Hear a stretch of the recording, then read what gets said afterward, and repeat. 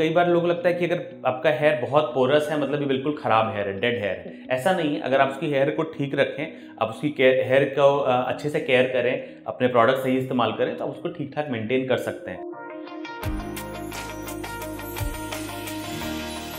Hello everyone this is Vidushi and you are watching the good health show और आज हम बात करने वाले हैं हेयर प्रोसिटी के बारे में। इट्स अ न्यू टर्म बहुत कम सुनाई, अभी आपने सुना होगा ये। And I am very honoured that I got a chance to interview celebrity doctor doctor Gaurang is with us hello sir how you thank you sir thank you so much for your time and sir hair porosity एक ऐसा topic अभी आजकल आ रहा है जो लोग कम जानते हैं। बट मुझे लगता है कि जो इसका मतलब है वो सबके साथ है।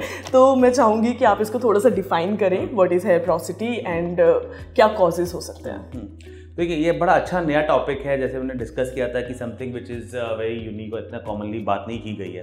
हम लोग बात करते रहते हैं रूट्स के बारे में हेयर फॉल कैसे रोकें और जड़ों को कैसे मज़बूत करें एंड ऑल बट हम बात कम करते हैं कि जो बाल आपको ऊपर से दिख रहा है उसकी केयर कैसे करें? Sir so hair porosity basically एक पैरामीटर है कि आपका जो हेयर का डेड पार्ट है जिसको हम हेयर शाफ्ट बोलते हैं जो आपको स्किन के ऊपर दिख रहा है वो कितना मॉइस्चर अब्जॉर्ब कर सकता है और कितना उसको रिटेन कर सकता है? ये होता है हेयर पोरोसिटी का मतलब। सो so, अगर कोई बाल जिसको बोलते हैं हाईली पोरस है मतलब उसमें मॉइस्चर जाएगा भी जल्दी और वो निकलेगा भी जल्दी। ये ड्राई okay. हेयर होते हैं। Okay. और जो हेयर होते हैं लो पोरस हेयर होते हैं उसमें मॉइस्चर अंदर लॉक रहे तो घुसता भी नहीं है और अगर एक बार चला गया मॉइस्चर ऑयल तो वो अंदर लॉक हो जाता है।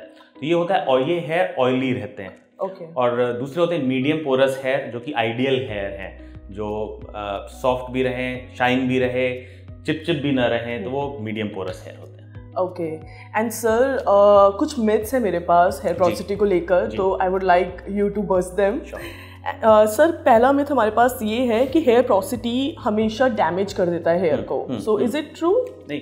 सो अगेन हेयर पोरोसिटी एक एक पैरामीटर है। सो so, कई बार लोग लगता है कि अगर आपका हेयर बहुत पोरस है मतलब ये बिल्कुल ख़राब हेयर है डेड हेयर है। ऐसा नहीं है अगर आप उसकी हेयर को ठीक रखें आप उसकी हेयर को अच्छे से केयर करें अपने प्रोडक्ट सही इस्तेमाल करें तो आप उसको ठीक ठाक मेंटेन कर सकते हैं। Okay. तो ये एक मिथ है कि highly porous hair always means damage hair it's not it's bad hair quality but it can be managed okay and अगर किसी का लो लो पोरोसिटी है hmm. तो वो एब्सॉर्ब नहीं करता है moisture it's it's a myth और it's a myth in sense कि जैसे हमने बोला लो पोरस मतलब मॉइस्चर एब्सॉर्ब नहीं करेगा तो एक मन में इमेज बनती है कि तो फिर तो ड्राई हेयर हुआ। ऐसा नहीं है मॉइस्चर एब्सॉर्ब करता है। लो और नो पोरस अलग अलग है। It's not non porous it is low porous धीरे धीरे एब्सॉर्ब करेगा बट अगर एक बार जिसने एब्सॉर्ब कर लिया तो वो लॉक हो गया। वो छोड़ेगा भी नहीं धीरे। तो ऐसे हेयर जनरली ड्राई नहीं ऐसे हेयर जनरली ऑयली हेयर होता हैं। ओके एंड सर जो ये प्रोसिटी होती है ये हेयर हेल्थ को डिटरमाइन करती है हेयर हेल्थ को ये डिटरमाइन करती है इन द सेंस कि जैसे आपके बाल दिख रहे हैं हेयर ब्रेकेज को डिटरमाइन करती है बट हेयर पोरोसिटी आपके हेयर रूट को डिटरमाइन नहीं करती है तो आपका ओवरऑल हेयर फॉल या बॉल्डनेस ये हेयर पोरोसिटी पे डिपेंड नहीं करता okay. वो हेयर रूट की क्वालिटी पे डिपेंड करता okay. है एंड अगर जो पोरोसिटी है वो इफ़ेक्ट करती है हेयर ग्रोथ रेट नहीं हेयर पोरोसिटी और हेयर ग्रोथ रेट में कोई रिलेशन नहीं okay. है क्योंकि हेयर ग्रोथ हमारे लाइव टिश्यू से हो रहा है हेयर रूट से हो रहा है, जो स्किन के अंदर है, और हेयर पोरोसिटी टोटली जो आपके स्किन के बाहर जो डेड हेयर है, उसका एक, उसकी प्रॉपर्टी है। सर हम हेयर पोरोसिटी को इस तरह से समझ सकते हैं कि लाइक कुछ लोग होते हैं जिनके बाल जल्दी ही वॉश करने के बाद हम्म। बहुत ही ज़्यादा उनको ऐसा लगता है कि उनका स्कैल्प जो है वो ऑयली हो रहा है। हम्म। उनके बाल जो है वो। बहुत जल्दी ऑयली हो जाते हैं। और कुछ लोगों के साथ होता है कि हेयर वॉश करने के चार पाँच दिन बाद भी उनका हेयर ठीक रहता है। तो हम इससे इसको समझ सकते हैं? Exactly hair okay so sir ये थे कुछ मिथ्स जो आपने बताए एंड अगर हम क्वेश्चंस की बात करें तो आपने बता ही दिया है कि हेयर प्रोसिटी क्या होता है uh, मुझे कैसे पता लगेगा कि मेरे बालों में हाई या लो प्रोसिटी है हम्म। देखो अगर आपके बाल जनरली आपको most of the time dry और फ्रिजी लगते हैं मतलब जिसको बोलते हैं ना बेजान बाल okay. तो इसका मतलब वो हाईली पोरस हेयर है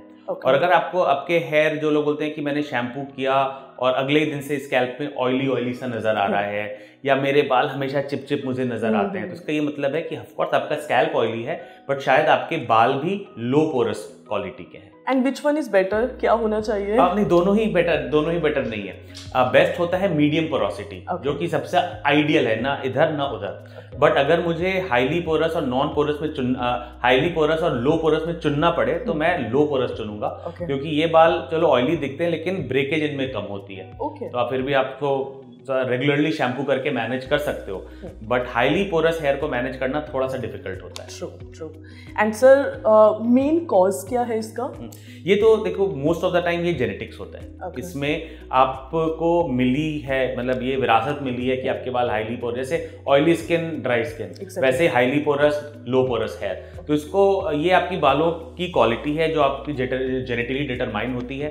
आपके जो बालों का जो क्यूटिकल है, उसमें ब्रेक्स कितने हैं, उसमें कैरेटिन कितना ज़्यादा है, और वो जो एक कॉन्टीन्यूस शीट होनी चाहिए क्यूटिकल की, वो है कि नहीं, ये आप डिटरमाइन नहीं कर सकते हो, ये आपके जीन्स डिटरमाइन करते हैं। लेकिन अपने आप हेयर केयर से उसको मैनेज कर सकते हैं आप। ओके okay, एंड uh, अगर हम जैसे आपने बताया कि मैनेज कर सकते हैं तो अगर हम मैनेज कर रहे हैं तो क्या ये चेंज हो सकता है ओवर टाइम नहीं ये ये पोरोसिटी चेंज नहीं वो अगर वो कैरेक्टर चेंज नहीं हो सकता है Okay. लेकिन अगर हाईली पोरस हेयर है तो आप mild shampoo regular conditioning regular oiling heating products ना यूज़ करना केमिकल प्रोडक्ट्स ना यूज़ करना इससे आप अपनी हेयर क्वालिटी को मेंटेन कर सकते हो।